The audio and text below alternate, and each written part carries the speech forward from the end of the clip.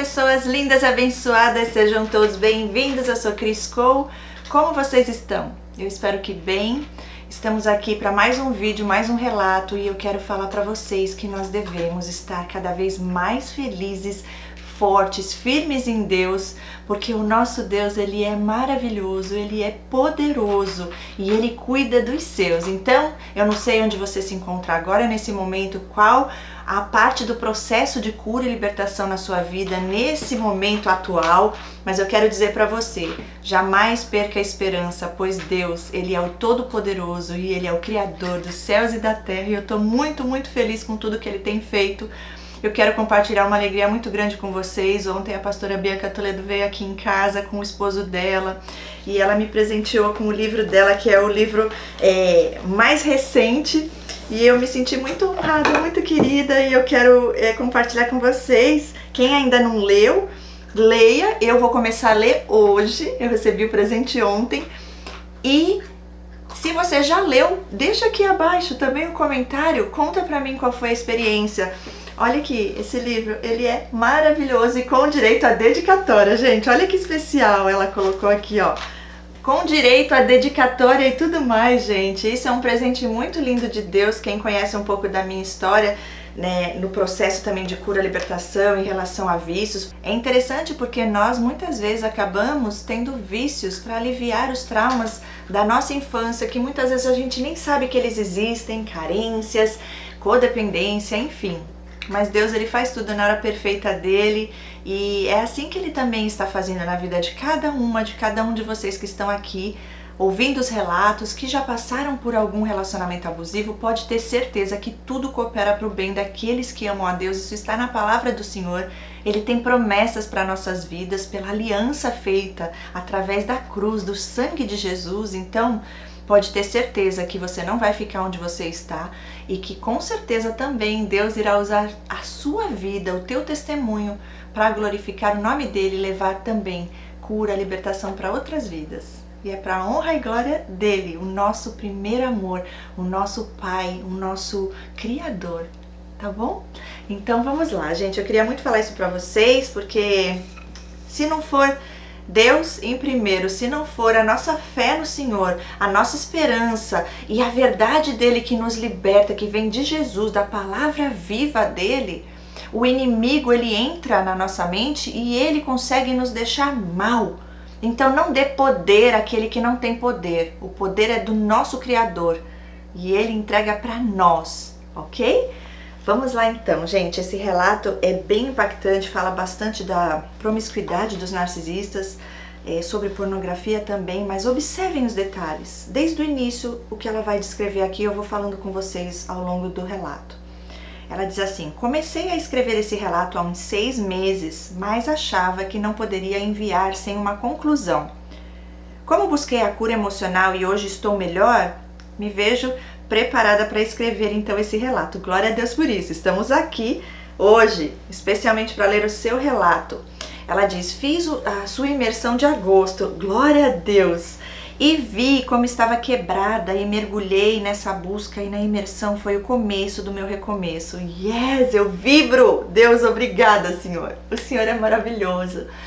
Ai, como é bom fazer parte disso. E ela continua: se fosse dar um título para esse vídeo, para esse testemunho, esse relato, ela coloca assim: seria um segredo entre nós. E ela põe entre aspas, vocês vão entender já já. Tudo começou com uma brincadeira, estávamos em casa e numa brincadeira ele me respondeu muito rude. Então perguntei se ele tinha outra em vista. E ele me respondeu: quem sabe, né? Ali fiquei, como dizem, com uma pulga atrás da orelha e comecei a olhar o celular dele ali o meu mundo começou a desmoronar.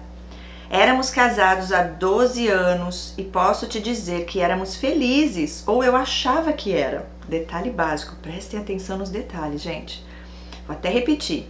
Éramos casados há 12 anos, posso lhe dizer que éramos felizes, ou eu achava que éramos. Tínhamos brigas, mas eu achava que era como todo casal. Lógico que tinham áreas que eu sentia falta de coisas, mas nada que fosse um motivo suficiente para uma separação. Nos casamos, eu tinha 25 anos e ele tinha 19. Eu era sua primeira namorada, primeiro beijo, primeiro tudo. Nos conhecemos num curso de teologia. Eu já tinha tido um outro relacionamento, mas estava já separada tinha um bom tempo. Eu tinha conhecido Jesus, estava tão apaixonada por Jesus e queria buscar entender mais sobre a Bíblia, então me matriculei nesse curso de teologia.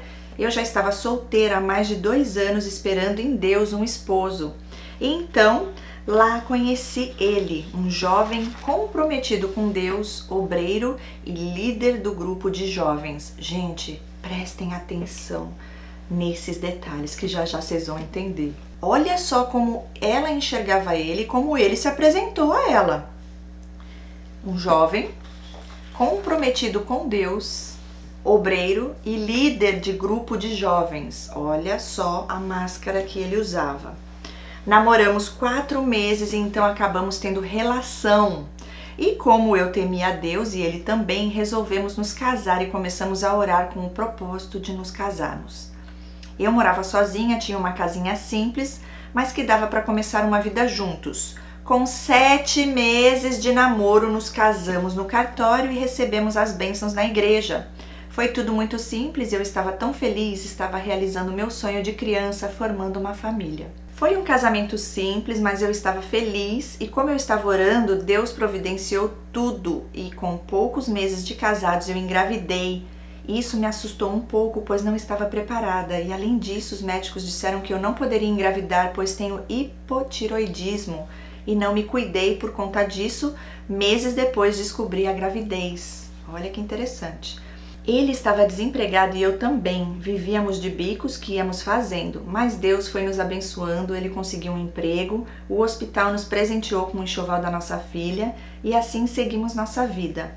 Eu amava tanto, via algumas coisas que não gostava, mas achava que era normal, que todo casal passava por isso. Ele não era carinhoso, mas éramos parceiros de fazer tudo juntos, ir no mercantil, passear, ir para a igreja. As coisas em casa tínhamos combinado desde o casamento que seria assim. Afinal, eu ia trabalhar para ajudar nas contas e ele ajudaria nos afazeres da casa.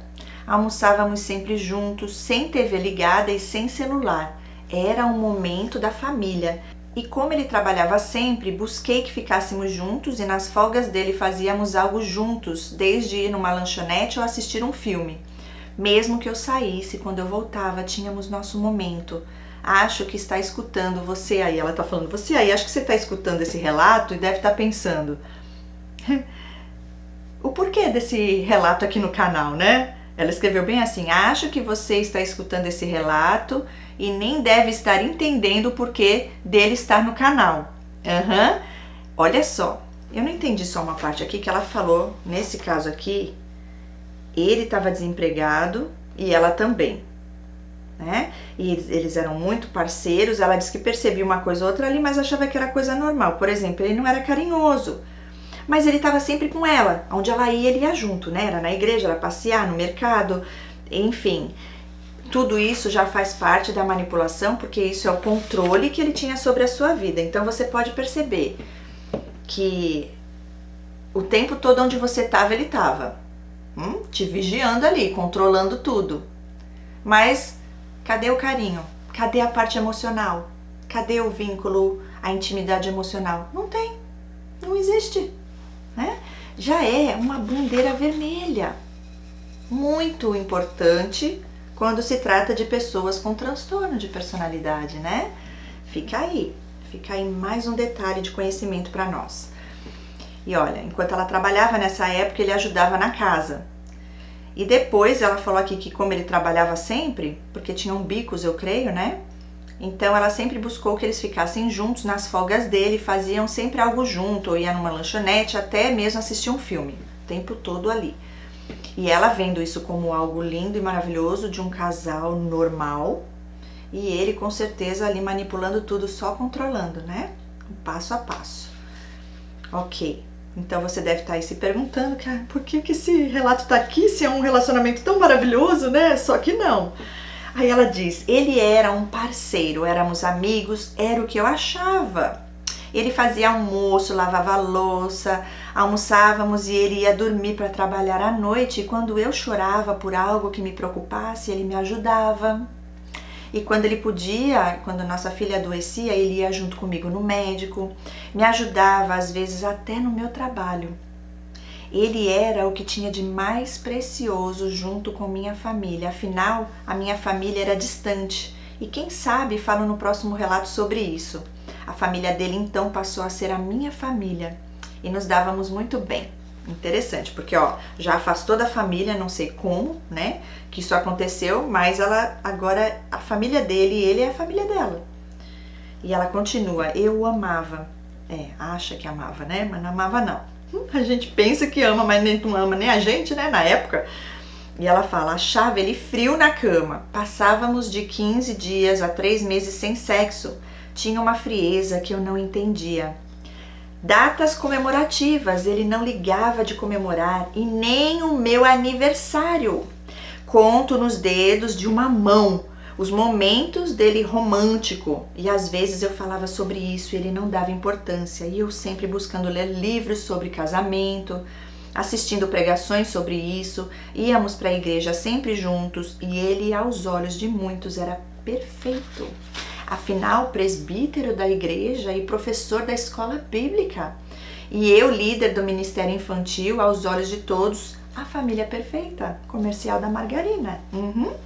Até o dia daquela brincadeira de ter outra em vista, ali todo o meu castelo de cartas ruiu.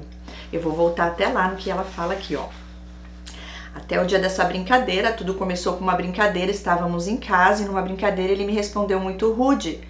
Então eu perguntei se ele tinha outra em vista e ele me respondeu, quem sabe, né? Ali ele mesmo se entregou. Eles se entregam, gente. E toda acusação de um narcisista é uma confissão, né? Porque eles acusam você daquilo que eles fazem. E outras vezes eles vão falar de outras pessoas, mas na verdade eles estão falando deles mesmos. Só que a covardia, né, não permite. E só para brincar com a sua mente, só para ver a sua cara, para ver o que você vai falar. É, eles gostam de chocar. Eles têm prazer na injustiça, nas coisas das trevas. Vocês vão ver que o profundo vai chegar logo, logo, gente. E olha só. E ela, com aquela coisa linda do sonho da família, da margarina, né?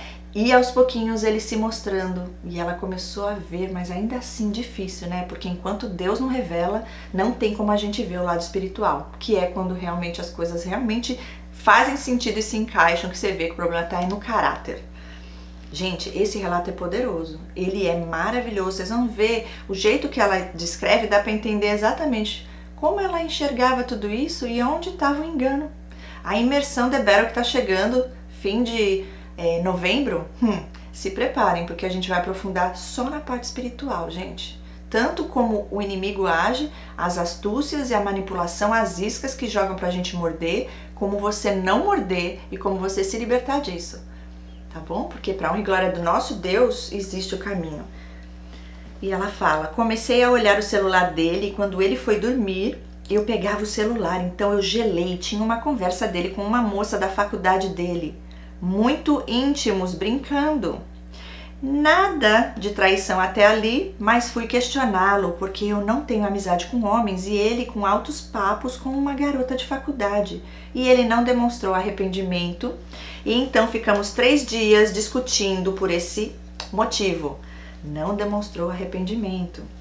Foi então que continuei mexendo no seu celular e achei uma galeria. Gente, olha isso aqui. Aqui começa. Agora o relato começa a ficar quente aqui.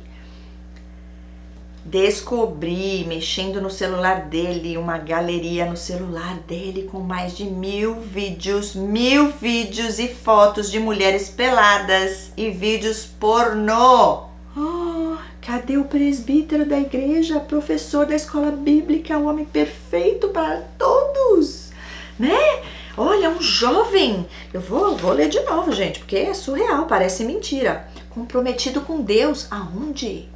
Obreiro e líder de grupo de jovens. É só Deus na causa, gente. Eles fingem ser anjo de luz. Esse aí vestiu a capa, hein? Ok.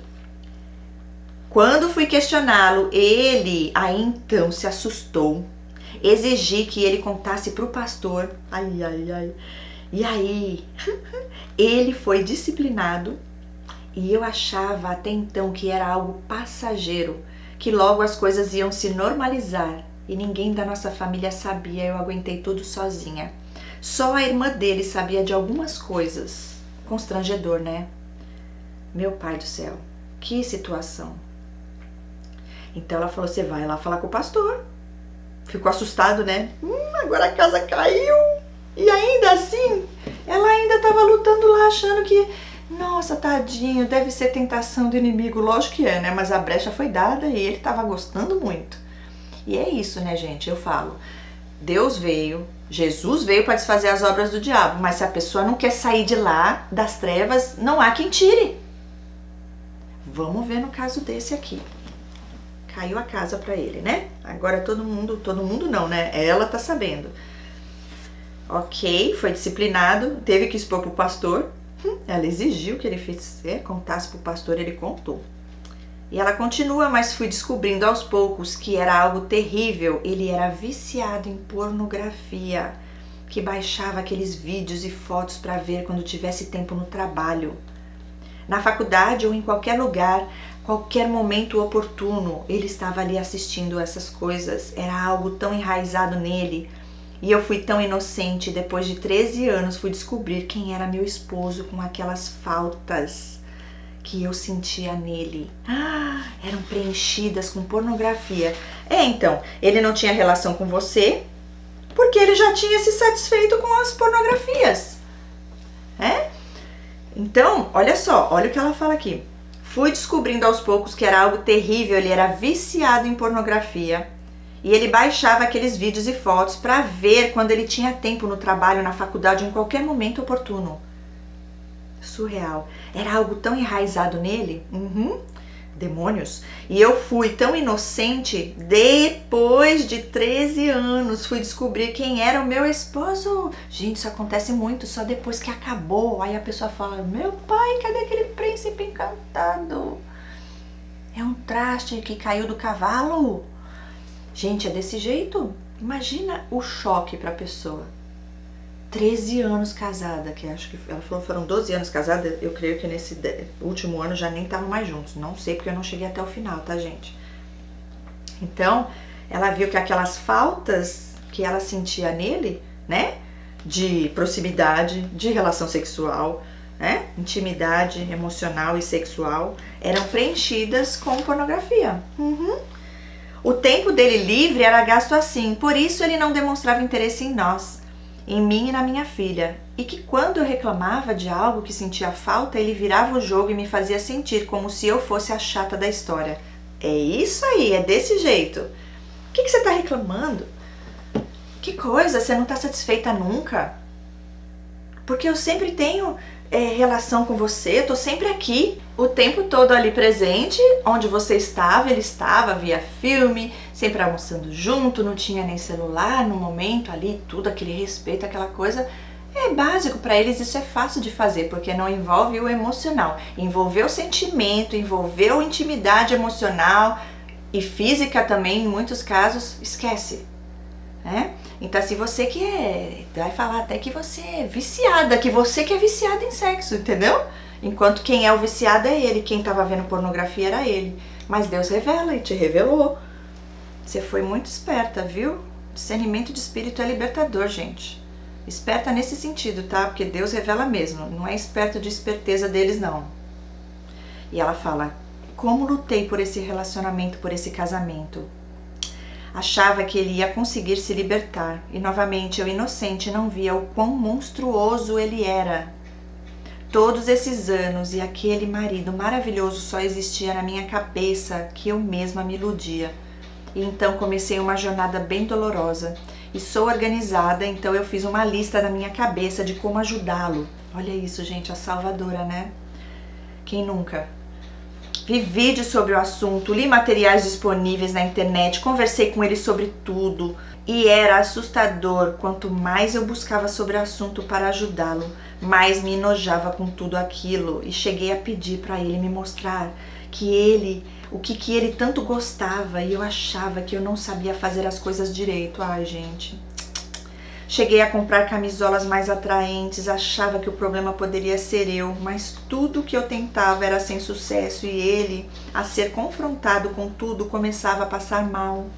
Dizia que era abstinência da pornografia. Deitava no chão, se tremia inteiro. Isso aqui é um psicopata. Uhum. Se tremia inteiro para que eu concordasse que ele visse essas coisas. Olha isso, do que é capaz um ser desse. E então começou ainda mais a tortura. Eu passava o dia trabalhando nesse momento. Ele estava desempregado, pois ele fazia faculdade, queria fazer estágio, então acabou saindo da empresa. Era só o que ele queria, gente. Ninguém merece isso, hein? As noites a seguir eram de torturas, pois ele só queria ter relação comigo se visse vídeos pornô, e eu, como serva de Deus, não podia concordar com aquilo e me sentia enojada e usada como uma boneca inflável. Gente, isso é surreal. E acontece muito mais do que a gente possa imaginar. E aí, mas agora que a pessoa sabe, tem consciência, tá lá já sendo disciplinado na igreja, conhece da palavra de Deus. E por que não vive isso? É uma luta, é um vício, ok, mas a pessoa tá fazendo o que para sair de lá? Gente, eu já tive vícios, eu sei o que é vício, mas quando a gente tem temor a Deus, a gente ora, a gente clama, existem recaídas, sim, mas aí você se sente mal. Agora, uma pessoa que não se sente mal, que não teme a Deus, vai mudar? Como? Não tem, né? Não tem é, razão para isso.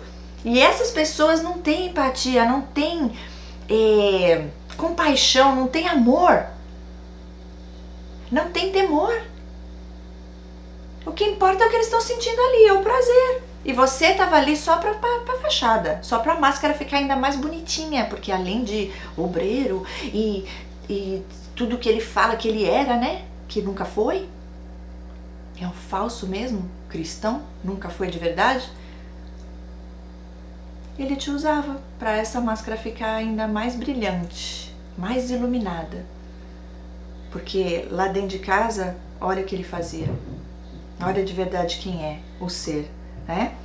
Glória a Deus que não importa o tempo que foi, 12, 13 anos aí, mas Deus te libertou, Ele revelou para te libertar.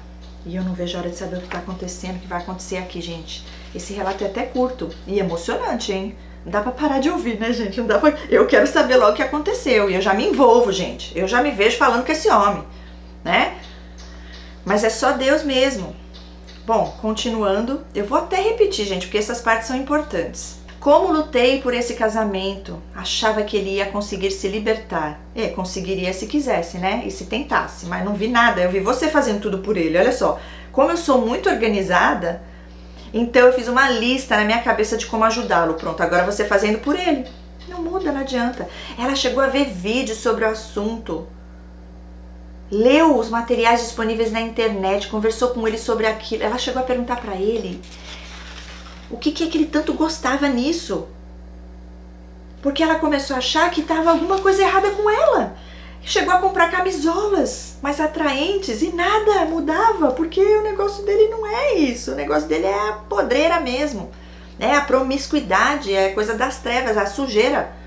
Por quê? Porque tem demônio envolvido aí. Lógico que tem. Não tem Deus, não tem temor a Deus, não tem amor. O que que tem? Trevas.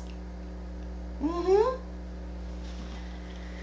E a gente ali achando que o ser tá tentando. E ele tá fazendo é nada. Quem tá fazendo tudo é você. Se ainda adiantasse né, a gente fazer por eles, a gente faria. Mas não adianta, tem jeito, não temos esse poder, só Deus tem. E a pessoa tem que querer, a pessoa tem que buscar. Isso é para qualquer vício. Ok? E aí ela diz que se enojava cada vez mais buscando saber sobre o assunto eu achava que eu não sabia fazer as coisas direito, olha isso, trazendo o peso, a responsabilidade sobre ela de algo que ele escolheu fazer.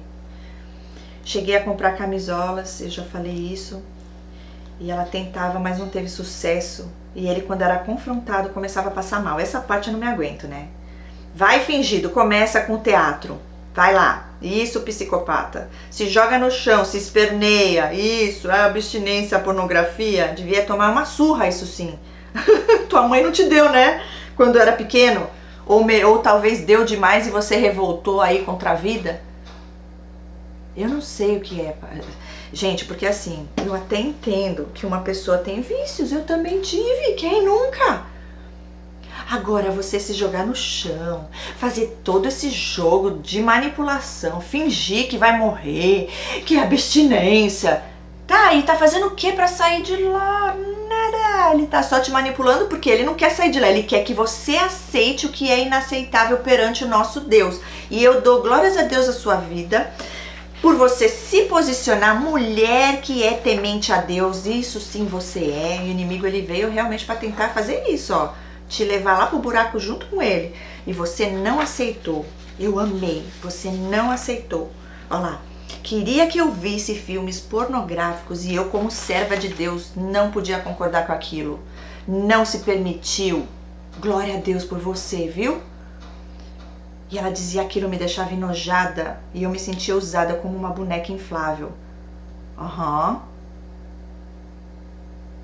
Tá, então você não fez, né? Porque assim, me sentia enojada e usada como uma boneca inflável. Tá, mas você não chegou a fazer não podia concordar com aquilo, ok. Então eu creio que ela se sentiria assim, não que ela se sentiu, né? Enfim, todas as noites antes de dormir eu chorava porque não suportava mais aquilo e ele passando mal para ver vídeos e eu chorava e deixava. Meu pai do céu. E lembro que algumas vezes ele me via chorando e não se importava. Aham, lógico que não, ele se importa com ele. Ai, mamãe, deixa eu ver, eu preciso ver, senão eu vou morrer. Aham. Aí morre você de desgosto, né? De estar do lado de um ser desse. E aí você sofrendo e pagando preço por algo que ele não estava nem tentando. Aí acha que é o Satanás, que é o inimigo, que é, mas e ele quer mudar? Não quer, então não põe na conta do coisa ruim, não. Assume que é escolha. São escolhas. Porque olha, Deus fala que para cada tentação de Satanás nós temos poder para renunciar todos eles. Uhum. Com a ajuda de Deus a gente consegue. Eu já fui um dia é, viciada e eu consegui. Então, por que, que outra pessoa não vai conseguir? Porque não quer. Agora, é fácil? Não é fácil. É da noite pro dia? Pode ser, se Deus assim fizer, mas normalmente Ele deixa a gente passar pelo processo. Né? E depois vem a recompensa. Lógico que vem, sempre vem, porque Deus é justo. E ela continua. Lembro de algumas vezes ele me via chorando e não se importava mas ele já fazia tratamento com psicólogo e psiquiatra, tomava remédios, tudo para melhorar. Será que tomava, gente? Eu duvido. Sendo um psicopata, hum, eles são capazes de fingir que estão tentando, tá? E eu sempre ao seu lado trabalhando para sustentar a casa e à noite acompanhando ele. Quando ele passava mal, ia no médico com ele, comprava remédios, pagava consultas e passagens. Gente do céu. Fui até o fundo para descobrir tudo. E acredita que ele me mostrou tudo? Acredito? Ah, eles fazem isso. Uhum, para te chocar mesmo. Ele sabia o nome das atrizes, país, idade e que tipo de sexo elas faziam. Ele dizia ser viciado em pornografia desde criança e eu queria ajudar a ele se libertar daquilo. E quanto mais eu buscava encontrar um outro homem, na realidade eu libertei um monstro que ele escondia tão bem e não dava mais para voltar atrás. Olha isso. Volto aqui. Fui até no fundo para descobrir tudo. Acredita que ele me mostrou tudo? Acredito. Ele sabia o nome das atrizes, o país, a idade, que tipo de sexo elas faziam. Ele dizia ser viciado em pornografia desde a infância e eu queria ajudá-lo a se libertar daquilo. Quanto mais eu buscava encontrar um outro homem, né? Ele vai conseguir, né? Ele não é isso, não. Na realidade, eu libertei um monstro que ele escondia tão bem e não dava mais para voltar atrás. Você não libertou nada, você você não é responsável por isso. Quem libertou foi ele e com a intenção de fazer você também pecar contra Deus, para você se ajuntar a ele participar da sujeira dele, da promiscuidade, porque se você aceitasse, eu já vi casos que você vai aceitando quando você vê, você tá saindo, fazendo é, swing com outros casais. É desse jeito. E o pior é que eles fazem você acreditar que não tem nada de errado.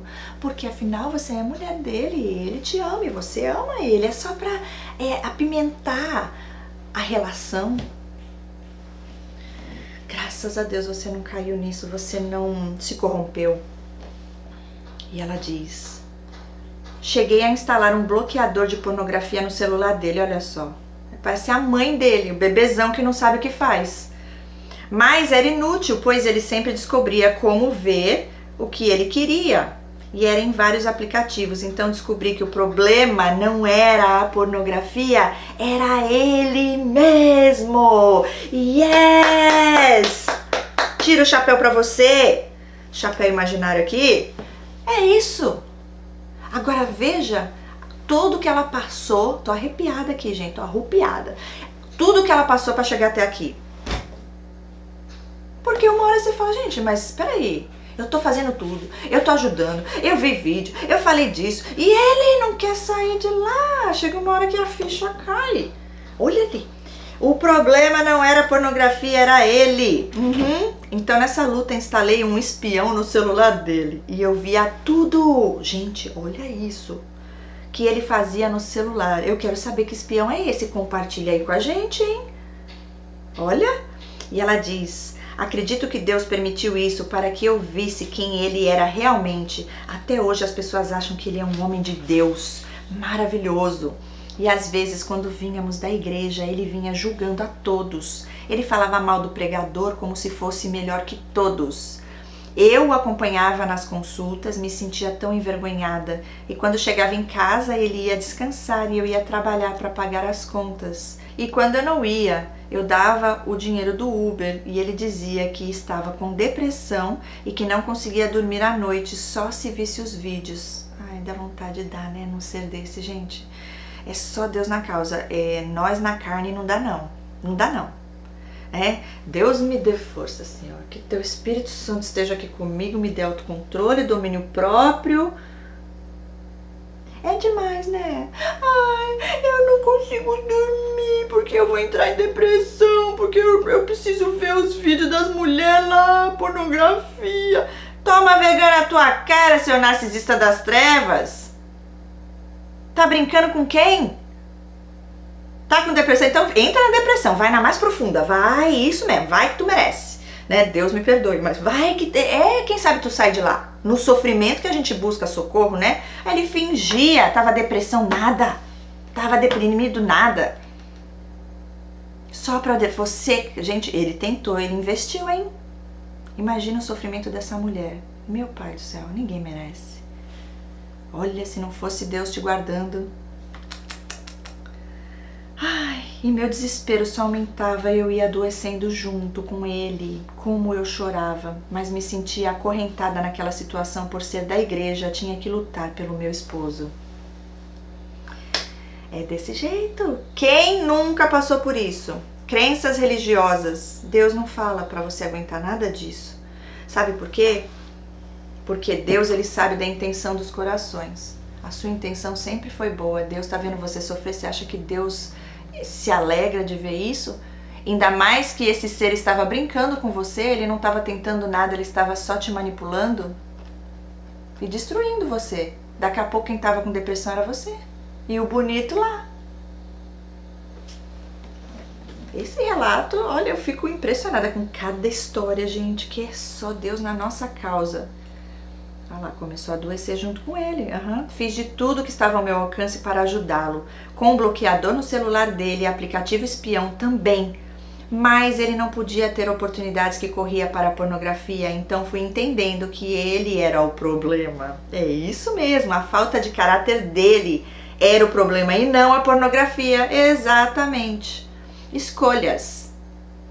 Descobri que ele, sentado no altar, olhava para mulheres dos irmãos da igreja, para amigas minhas, e quando chegava em casa se masturbava pensando nelas enquanto eu sentia falta de sexo. Pois ele não me procurava e foi piorando todos os dias. E uma vez ele disse que só gastava tempo com o que interessava a ele. Ali caiu a minha ficha, por isso ele era frio comigo e com a nossa filha, porque não se interessava por nós.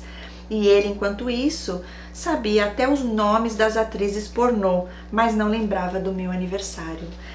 É exatamente isso, gente. Eu vibro quando eu vejo a pessoa tendo a consciência, isso é libertador, por mais que seja algo assim tenebroso desses seres. Ela sabe, agora ela está desperta, agora ela vê de verdade o que ele está fazendo e a intenção, né? O coitadinho que sofre de abstinência passa batido o seu aniversário, ele não lembra porque então a gente pensa, tadinho, ele não é bom de memória, né? Mas ele lembra até o nome das atrizes do filme pornô. E sabe por que ele te contava? Para te humilhar, para você sentir um lixo, para você achar exatamente como você estava achando, que você não era bom o suficiente na cama, ele precisava dessas coisas porque com você ele não se satisfazia. Né? Só que isso é uma mentira de Satanás, porque o problema está é nele, na sujeira que está nele. O lixo é ele, né? O comportamento dele. E ela fala: Fui descobrindo o quanto ele era monstruoso e eu passei dois anos tentando engravidar e não consegui. Livramento de Deus. Ela já tinha filha, né? Fiz vários exames, pedi para ele fazer também, mas era sempre difícil. Ele não queria ir no médico, não queria fazer exames, não me procurava e eu, sem entender aquilo, chegou a fazer exames e disse que estava doente. É doente ele sempre foi, né? né? Principalmente aqui na cachola. Até remédios comprei para ele, depois fui descobrir que ele não queria que eu engravidasse. Acredito que para ele já estava tudo preparado. Ele terminaria a faculdade, conseguiria um bom emprego e eu, que ajudava ele a pagar a faculdade, levaria um pé. Isso, um pé bem bonito. Agora não preciso mais de ti. E para que outro filho, né? Eles não têm amor nem pelos filhos, gente. Nesse nível aqui não tem. Psicopata.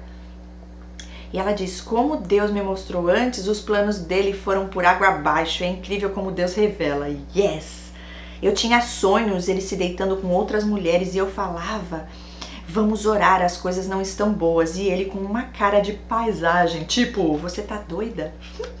Outra vez sonhei com ele. Ah, com ele não, com muito lixo em cima da nossa cama. É, com ele mesmo. Era o lixo. Deus me perdoe, gente, eu não me aguento é, o lixo ali na cama e contava para ele que continuava com a mesma cara. Quantas vezes eu senti um peso na minha casa, as pessoas falavam tem algo estranho aqui e quando eu comentava ele seguia inabalável. Uhum, ele já sabia que era ele. É, onde eles vão, os demônios vão junto. Até que quase um ano após a descoberta dele com a pornografia, pedi para ele sair de casa. Gostei, se posicionou. Viu que o cara não quer sair do lugar, sai você, né? Então, ó, meu filho, vaza vaza que eu já vi que o negócio é no caráter e tu não quer mudar em nada, tu gosta da podreira, fica você lá sozinho. E Deus já vinha tratando comigo, me guiando e eu já não dormia direito. Acordava procurando ele em casa, porque muitas vezes ele dizia que ia se matar e eu acordava assustada. Esse cara é nojento, gente. Como ele é manipulador. Você não ficou louca porque Deus estava contigo, viu? Imagina, ela não dormia mais. É pior que um. Eu não vou dizer que é pior que um filho, porque filho, gente, é bênção. Mas eu digo assim, que uma criança que tá ali dando trabalho e uma mãe tá cuidando, gente, é um adulto promíscuo das trevas e parecendo ser um bebezinho que não sabe viver e fazer escolhas na vida dele, tadinho. Precisa de ajuda. Uhum. E aí ela diz: Ele dizia que ia se matar e eu acordava assustada, com falta de ar e o coração acelerado, achando que ia morrer. Até que um domingo, depois do almoço, quando tiver. Quando tínhamos chegado da igreja, ele disse que só ia ficar comigo se tivesse vídeos pornô. Ah, é demais, né? E eu disse que, como serva de Deus, eu não ia aceitar aquilo. E ele disse que nunca mais me tocaria. Livramento! Isso mesmo, melhor coisa! E ela diz: Então eu perguntei: e se eu quisesse? E se eu sentisse falta e necessidade, né, de alguém me tocar? E ele mandou eu procurar outro homem, me propôs um casamento de fachada e ele passaria a dormir no quarto da nossa filha e ela ficava comigo no meu. Não tenho sangue de barata e falei: vá embora de casa. E além de muitas vezes eu ouvir palavras que nunca tinha me amado, casou para se libertar da pornografia, me achava feia, não suportava meu jeito de ser. É, casou para se libertar da pornografia? Lógico que não. Tudo mentira. Porque então, por que você não se libertou, né? Com uma mulher tão linda e maravilhosa que luta aí por esse marido que não merece nada. E ela diz assim: ele fez enquanto eu me arrumava com a minha filha para ir pro culto, ele arrumava as coisas para ir embora. Glória a Deus. E como foi dolorido esse dia mas achava que ele ainda voltaria para casa. E antes de sair, ainda falei: vamos conversar daqui uns dois dias, quando estivermos de cabeça fria. E então ele foi para casa da mãe dele e as coisas só pioravam. Com isso, ele sentiu é, o solteiro mais gostoso da praça. e eu ainda estava com um app espião no celular dele e via tudo. Gente, olha que surreal essa parte. Eu via ele me bloqueando no Instagram e no Facebook, tirando nossas fotos juntos, instalando aplicativo de namoro e eu em casa vendo tudo. Ele paquerando na internet dizendo que era solteiro e que tinha se separado porque não gostava do meu jeito, como como se a errada fosse eu, eu não aguento. E meu pastor ainda tentou falar com ele para voltar para casa, mas nada adiantava. Deus já libertou, não volta não, traste. Eu, o demônio foi embora, tu chama para voltar, volta sete vezes pior. Que pastor é esse? Que discernimento de espírito esse homem tem, gente? Eu não sabia não? Da podridão? Hum, só deve ser mais um. E ela diz: ele queria viver a vida de solteiro, então meu pastor voltou lá em casa e disse que eu estava repudiada nesse momento e como se abrisse o chão é, debaixo dos meus pés e eu caísse num buraco sem fundo. Uau! Custava para eu acreditar que meu esposo estava me deixando, mesmo que não teria mais conserto o nosso casamento. Olha, eu vou te falar, inimigo não brinca de ser ruim, não, hein? E ela ainda sofrendo, porque eu creio que até então ela ainda não sabia que era um narcisista psicopata, né? Olha só essa parte, gente. Ela vendo tudo que ele estava fazendo, se passando por solteiro e que tinha se separado porque não gostava do meu jeito, como se a errada fosse eu. É, tadinho. Ele não contou que ele gosta de pornografia, não, pra essas, né? Aham. Uhum. E foi então que ele começou a me tratar com mais desprezo, eu e a minha filha.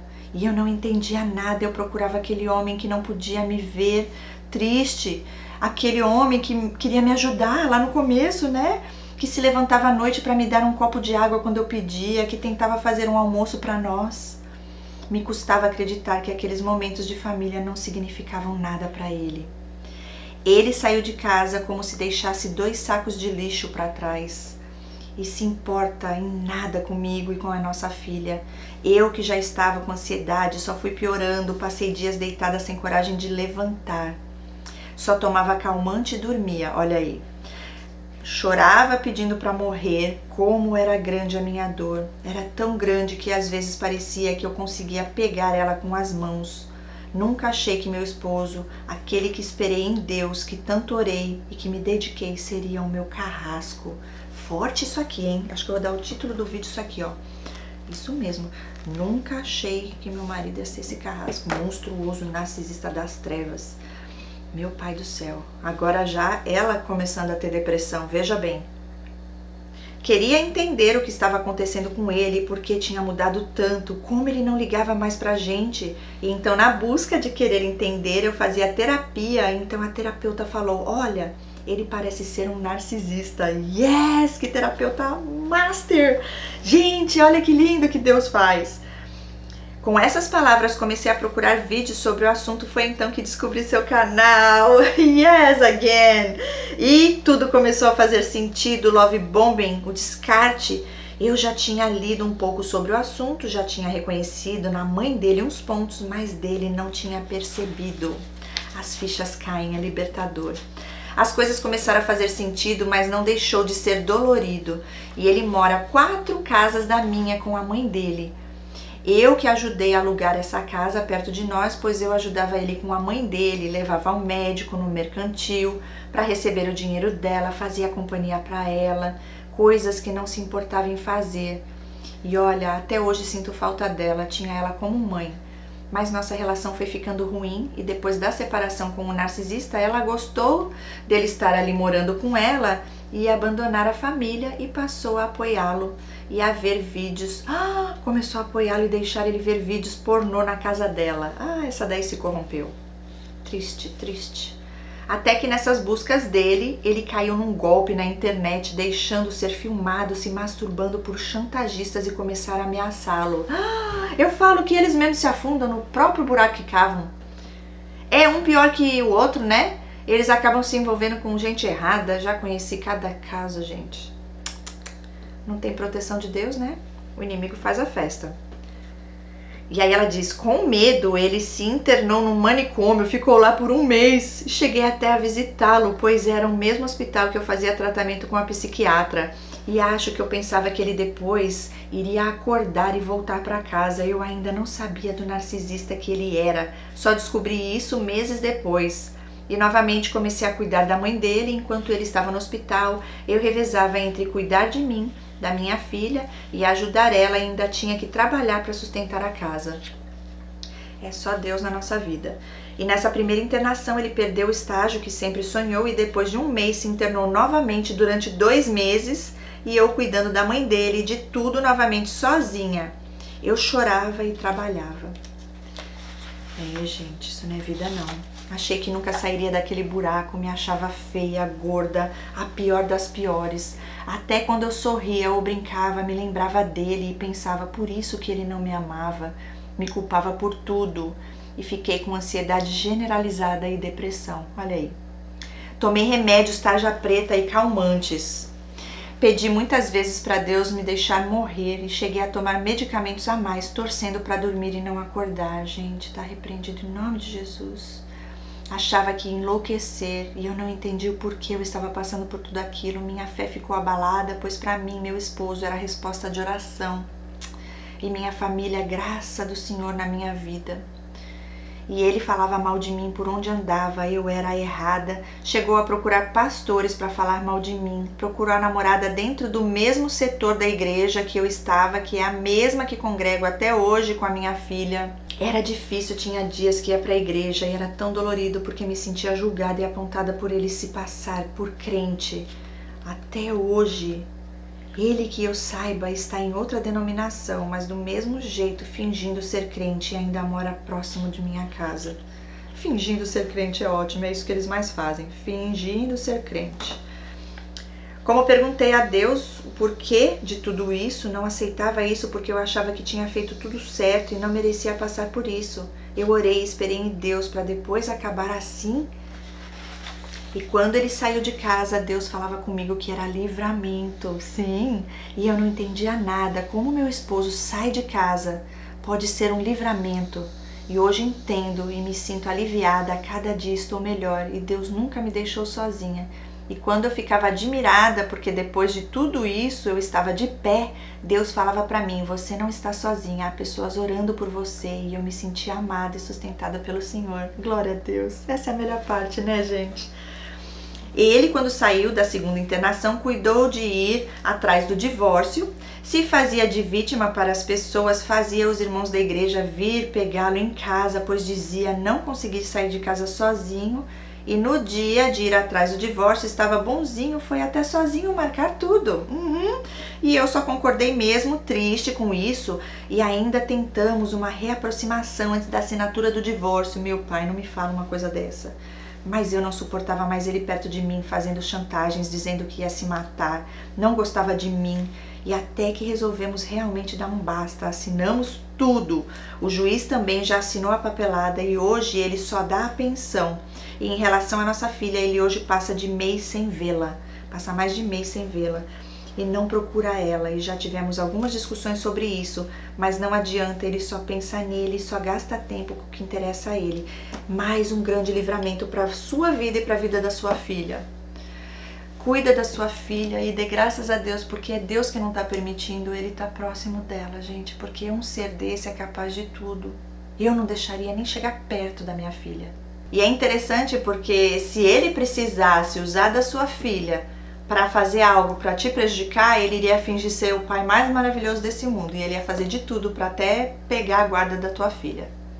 Então, dê graças a Deus por todas as coisas, porque Deus está te protegendo e protegendo a sua filha, viu? Nem insista nisso, dê graças a Deus. Se você puder, até pegue a guarda, é, acho que chama unilateral, que é a guarda só para você libertador. E ela diz aqui, terminando, ela conclui: Só comecei a melhorar depois que descobri que ele é um narcisista. Achei o seu canal e me vi como uma pessoa com dependência emocional dele. Incrível, tudo passou a fazer sentido. Sim. E continuei a me tratar com psicólogo, psiquiatra, terapeuta e assistindo seus vídeos. Fiz a sua imersão e fui melhorando. E hoje estou bem melhor. E há dias que me sinto até feliz Glória a Deus e que esses dias sejam todos os dias da sua vida.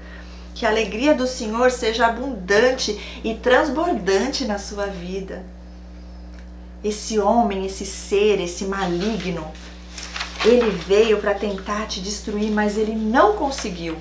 ele afetou algumas coisas, mas Deus está restaurando tudo, tudo. E ele vai te dar, já está te dando dupla honra. Glória a Deus por sua vida, por seu testemunho. Gente, como é libertador. Vocês têm noção de que essa união faz a força? Que juntos nós somos mais fortes? Eu tô aqui lendo um relato de uma pessoa que dedicou o tempo dela para contar detalhes e olha a inspiração aqui foi de Deus. Você sentiu a presença do Espírito Santo do início ao fim? Eu sim. Então pode ter certeza que é cura e libertação. Esse relato vai chegar aos quatro cantos desse mundo e vidas serão libertas. E é por isso que o inimigo fica furioso, pois ele já é um derrotado. Vem fazer a próxima imersão também, viu? Porque nós vamos falar da parte espiritual, que existe sim. É? E Deus ele abre nossos olhos espirituais para nos libertar e para a gente poder então passar por esse processo que você já está passando, que todos nós passamos, se nos permitirmos, é claro, e então a gente pode agora ajudar outras vidas. Né? Cada uma da sua forma, cada um do seu jeito, porque é Deus que faz. Nós somos instrumento dele. E é por isso que é poderoso e é libertador, porque é Ele que faz. Então, fique firme, fique bem, agradeça por tudo, saiba que é livramento sim de Deus, Ele cuida dos detalhes e você e sua filha estarão cada vez mais felizes, né? E vivendo o melhor de Deus aqui na terra, diante de todas essas situações. Deus disse que teríamos aflições, mas Ele venceu o mundo, então nós também venceremos. E a garantia da vida eterna, que isso é o mais importante. É, a primeira morte todos passaremos, mas a segunda, glória a Deus que nós não estaremos lá. Agora, esses seres, se não se arrependerem, se não mudarem os seus caminhos, continuarem levando injustiça na vida de pessoas que são filhos e filhas do Senhor, ah, com certeza o pesar de Deus, a mão de Deus vai pesar sobre a vida dessas pessoas, né? E que Deus tenha misericórdia de todos nós né? e desses seres e que eles se arrependam e voltem aos caminhos de Deus. Caso contrário, o fim deles é ranger de dentes e no inferno mesmo. É a palavra de Deus que fala, não sou eu não. É isso, gente. Um beijo enorme no coração. Sinta meu carinho, minha gratidão. Você que mandou o relato, você é muito, muito linda, muito especial para o nosso Deus, para o nosso Criador. E pode ter certeza que em breve você estará aí entendendo mais do que nunca o porquê de tudo isso que você passou. E Deus vai transformar todas essas lágrimas em vitória, em alegria, em paz, em amor, e muitas vidas serão abençoadas através da tua vida. Assim eu creio. Em nome de Jesus, gente, eu deixo esse relato e que venha edificar a fé de vocês, a vida de todos e, e tenham esperança. A palavra que eu deixo aqui hoje é esperança. Jamais perca esperança, jamais peça para Deus tirar a tua vida, porque Ele tem um grande propósito para se cumprir ainda. E é tudo na hora perfeita dele, a honra e a glória é para Ele.